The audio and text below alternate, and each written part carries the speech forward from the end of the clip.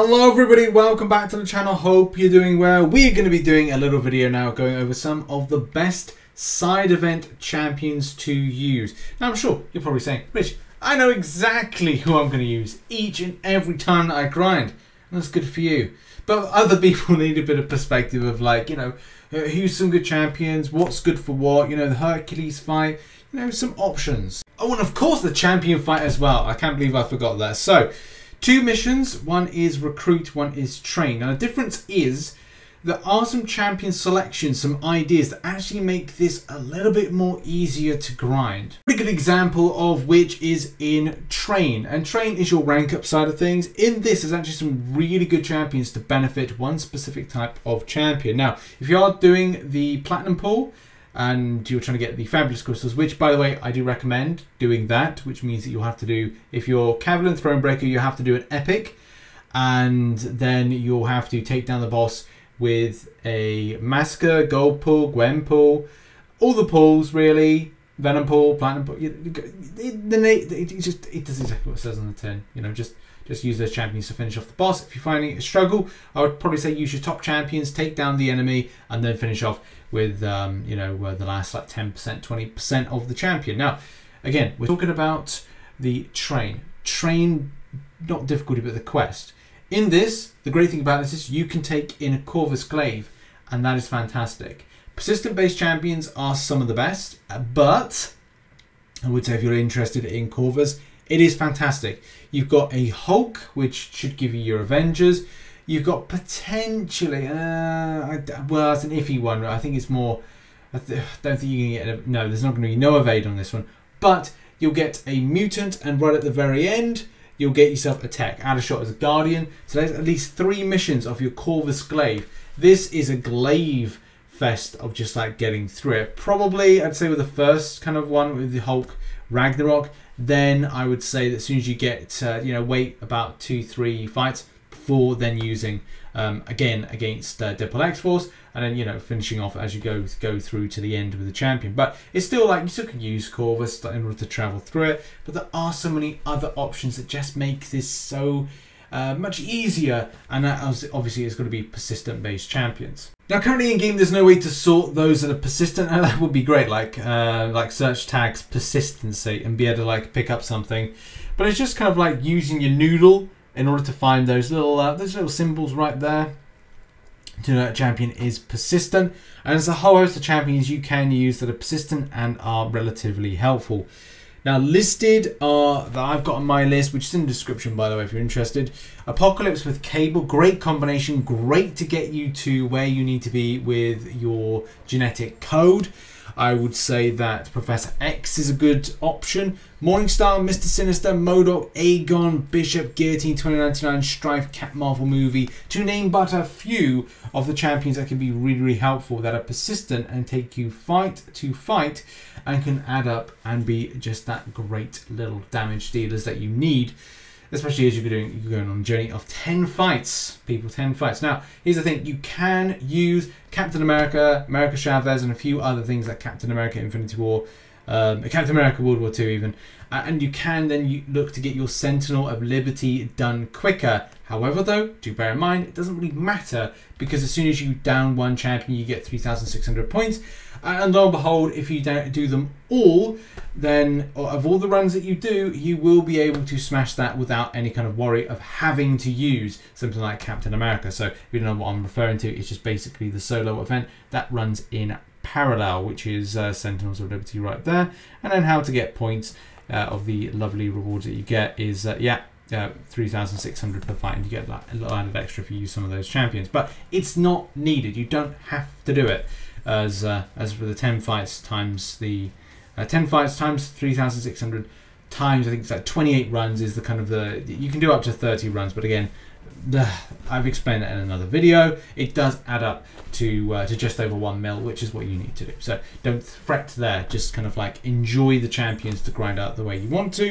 And that's what I personally do and that's what I do now for both types of difficulties it's not all about like one specific champion as you can use multiples.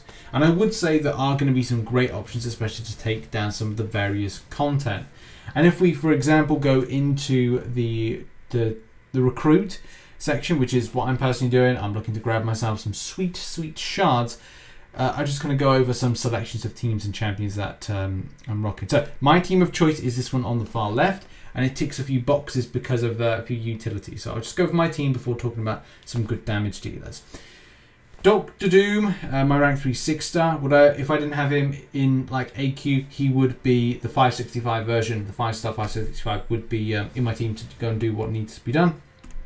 Apocalypse, rank 3 6 star. Again, same principle. If I'm not using from AQ, then I probably will replace him out for something else, unless I'm choosing to make the Horseman synergy. Archangel is great at clearing lanes, again, high damage. And Human Torch is there because I was trying to experiment around with some stuff Lo he works relatively well, except against Cosmic Ghost Rider. But there are loads of champions to use against this, and that's just the thing. You can either go one of two ways. High damage dealers with buff champions that have great interaction, your mutants, your cosmics, and yeah, the other ones like skills when it comes to uh, debuffs. Or yes, you can go very centric with debuffs. And some of the champions that I recommend that are high impact debuff dealers or damage dealers uh, are in the description down below, and they are Nick Fury Falcon, which is which is great for taking on a few kind of fights. By the way, with that defense um, defense ability actually reduction. Human Torch, as just seen, Namor, Black Widow Claire Voyant, Doctor Doom, Cap, Cap Infinity War, and that's the thing. You can bring Cap Infinity War and build a team around him, and having one of every every different champion, and that that actually relatively would work well. I would say that you can look to build him around a team. You know, we could just create a little team now around him. We could just take him there. We could just replace him into that one, and boom, there you go. We've got um, bit of skill to shrug off those debuff effects. We've got Mystic there, uh, if I can remember what Mystic does. One of them does a weakness. No, that's uh, Science. Uh, and then we've got Mutant as well. So it's like you have this kind of like, and you can just switch it out. If you want Armor Break, and switch in a Cosmic in there. We could take Cap Marvel Movie, and we could add that in. We could change the dynamic of the team by taking out... Uh, taking out Apocalypse and then switching it around with some other champions as well. We could put a Tech in there, we could put a Warlock in it and place it there. Just like that not really needed, and I do think interactions against the boss is relatively important. Like Mystics, as soon as Fisticuffs ends, because that's another thing, when the enemy champion gets Fisticuffs, it's just a waiting game at this given stage. And that's the thing, with the boss interaction, I would say champions that enter work really well. Black Widow Claire Voyant against Hercules, any Mystic against Hercules. If you're building up Morningstar, for example, that could be a really good option to take in against it.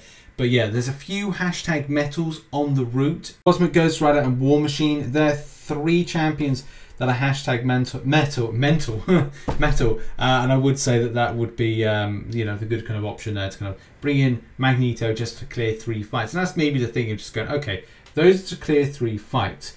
Then I bring in Archangel, which is planned always for for two of those fights, maybe even well, two of them with um, with Hitmonkey and uh, Punisher. So then I've kind of satisfied there for, for like uh, six of the fights that, that, are there, and the other ones will probably be something to take on Longshot, which will probably be Doctor Doom, and then just having like any kind of one to kind of deal with and that not a class disadvantage and advantage, which would be Falcon. So Falcon would deal with those two fights right there, and then it's just the boss, which you know, we'll just rotate back in either Apocalypse, uh, hopefully, and that's the other thing. Like Apocalypse is a spare champion in this, and it's just a case of like finding a good champion against the boss. Which, as I said, Mystic champions will do well against class advantage. Even more so if they're going to interact with uh, kind of suppressing the damage that can be potentially put there. And, and I would say that when it comes to Hercules, if you got champions that, and I'd used Archangel fine with this before, cleared it, but maybe champions that do different types of debuffs. The champion interacts to suppress things like bleeds and poison, or maybe use champions that shock. And this is where Black Widow Deadly Origin, which is a, a good favourite of mine, uh, I would probably put in against this because I think that's kind of like a good fit. Black Widow Deadly Origin. Human Torch with the, the incinerates, and uh, yeah, a whole host of different champions that uh, that would work relatively well I'm putting huge amounts of debuff numbers at the enemy. Jabari Panther, Crossbones, just champions that don't rely too much on certain things. There's lots that can be take, taken against this, but I think as long as you kind of have stuff in your mind of saying, right, well, we got Corvus and we got the persistent charge based champions for one side of things, and on this side of things, then you can look at champions that are high debuff damage dealers, and also, you know, don't write off the likes of Magneto, your Aegons, Bishops, Guillotine 2099, and, and so many more that can really kind of take on this stuff. So yeah, a full write-up of information is in the description down below, including some team configurations I've been working with and quite like. Uh, hope you enjoyed this video, and I'll see you later on. Thanks. Have a good one. And don't forget to check out some content that's been recently posted, probably some stuff and some coverage from yesterday, with good news about the situation around the uh, the summer event and the summer camp. Some grace days are on the way. I appreciate you all, and uh, see you soon. Bye bye.